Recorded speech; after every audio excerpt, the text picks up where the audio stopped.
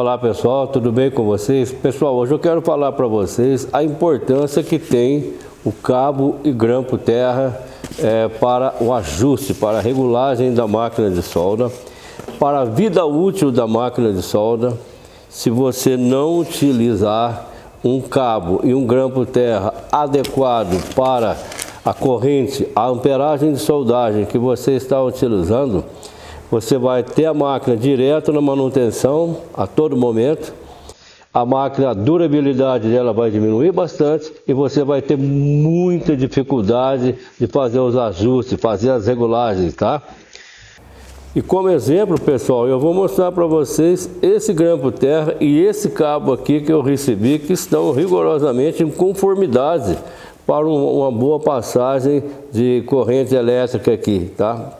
Ele tem alguns diferenciais aqui que vale a pena vocês conhecerem. vou mostrar em detalhe e vou mostrar para vocês também grampos e cabos terras que não vai ser bom, não vão ter durabilidade e como que você vai reconhecer eles. E vou mostrar para vocês também o tempo que eu trabalhei em obras e trabalhei em outras empresas é, fazendo é, visitas técnicas, né? O pessoal reclamava da máquina de solda, reclamava é, da ajustagem, ou então lá no campo.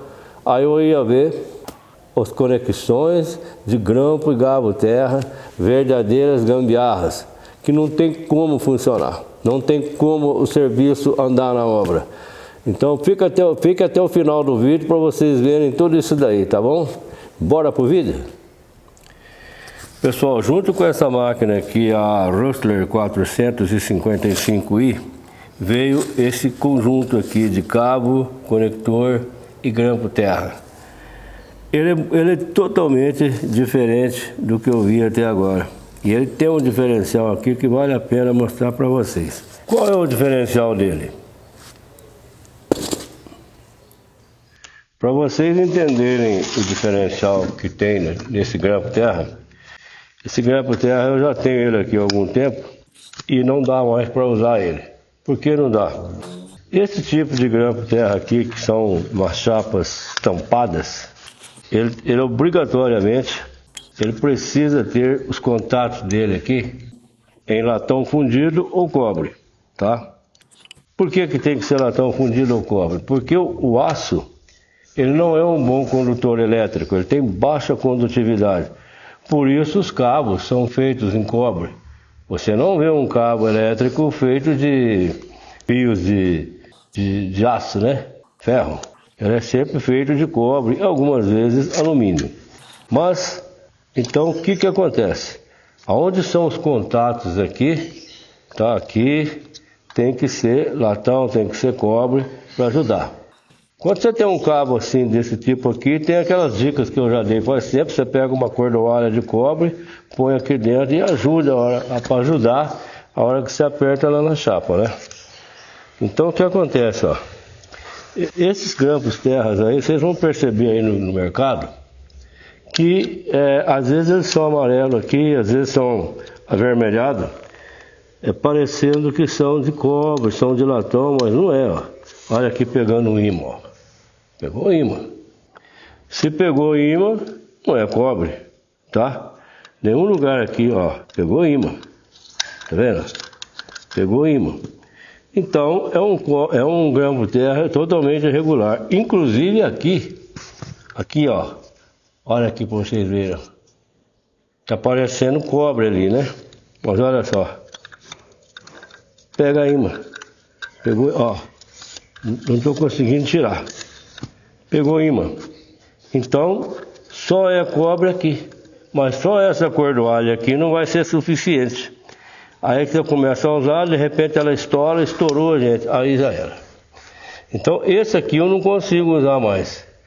Ele não aguenta a corrente, dá aquecimento.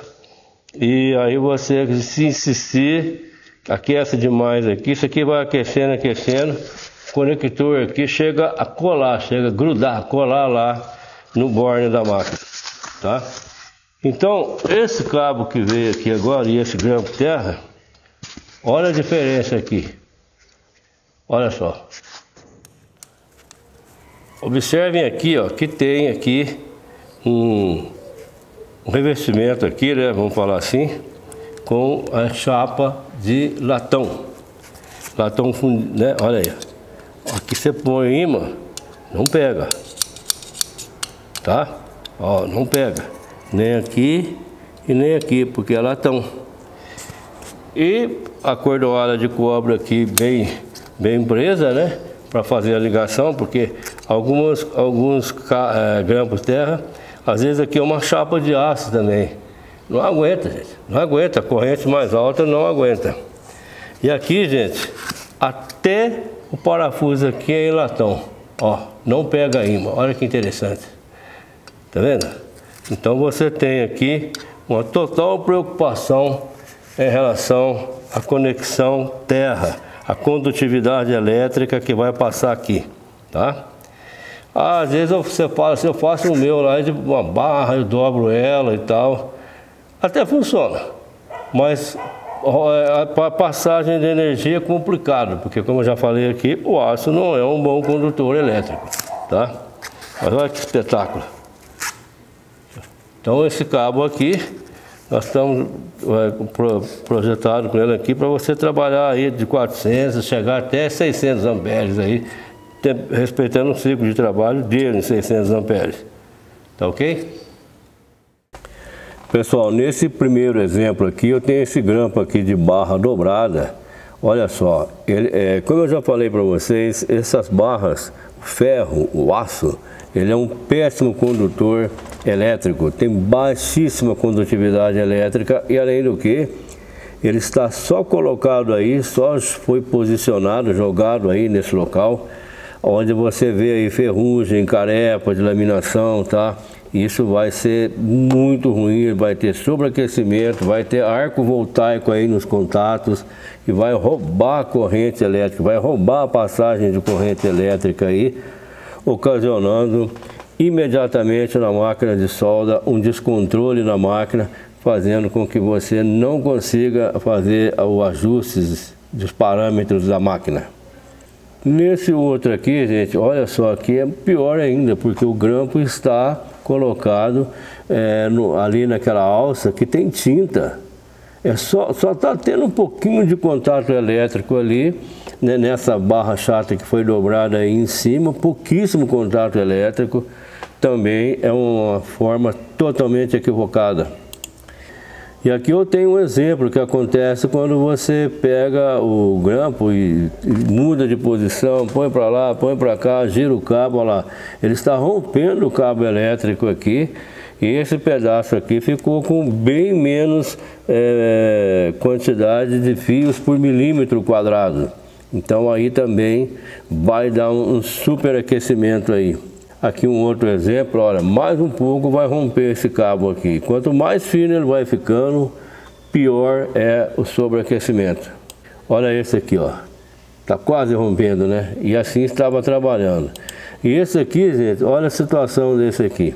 Ele pegou o grampo, esse grampo aqui ele usa para ficar abrindo contato, é, abrir o arco elétrico no próprio grampo, né? Olha a situação que está e o grampo foi colocado aqui em cima de uma chapa pintada. Então você via aqui a formação do arco voltaico nessas regiões aqui, dificultando bastante a passagem da corrente elétrica.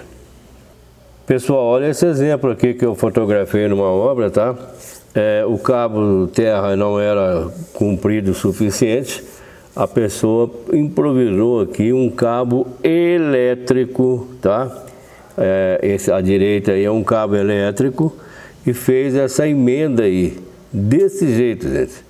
Vocês acham que é possível uma coisa dessa? São pessoas totalmente despreparadas, sem treinamento, sem noção do que estão fazendo, né?